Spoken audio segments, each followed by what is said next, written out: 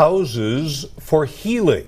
The name of the organization speaks for itself, ensuring that when people come to Abilene from out of town for medical treatments, they have a place to stay and heal and recover.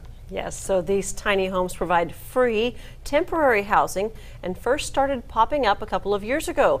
But now this tiny endeavor has some big plans and is expanding so that each county in the big country has a tiny house all of its own. KTAB's Miriam Chamberlain has the story. When driving down Hickory Street, you may notice these little tiny houses. They're here to help. It's the best way that I can put it. They're called Houses for Healing. Yeah, and that's what it is. And Robert Soto from Ballinger, Texas, is finally going home after being in the hospital for the amputation of his leg. Everybody's telling me to get me a cushion for the wheelchair and get a cup holder and everything like that. I'm telling your people, I don't want to be in this thing as long as longer than I have to. He had been staying in one of these houses for healing homes, and that's exactly what he did here. Healed. It's been a blessing. I mean, I don't think I would have gotten where I'm at today if it wasn't for this place. There are four of these tiny houses for people like Soto, but the idea is to have a total of 20, one for each county in our area. As you can see, here are the four houses. Now there's clearly not enough room for 16 more.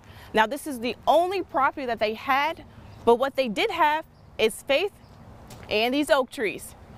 You see, these trees provided shade for the house across the street, and the man who lived there wondered if they were going to cut them down. Once he found out what they were actually doing, he decided to donate his own home, providing space for the remaining 16 houses. Yeah, we moved in here when I was 10, and this was the living room area. Now it's the chapel area. The son, Rich Kinney, says growing up, his mother and father told them about their plan for their home. And after their passing, him and his siblings decided to follow through in honor of them. It was very special. Uh, with four boys, when we first moved into the house, the first thing my dad did was board up this window and board up that door over there. So all of us couldn't escape and stuff. So uh, so we've opened everything back up now doors windows and it's just great. And president brian macy says they're grateful for what the kinney family did as now they can continue on with their vision. People that are staying with us are going through a really difficult time and uh, we want the church to to be with them on the journey as they work to get well again as they fight for life and health. As for Soto, since he has had time to heal, he feels it's now time for someone else to come and stay.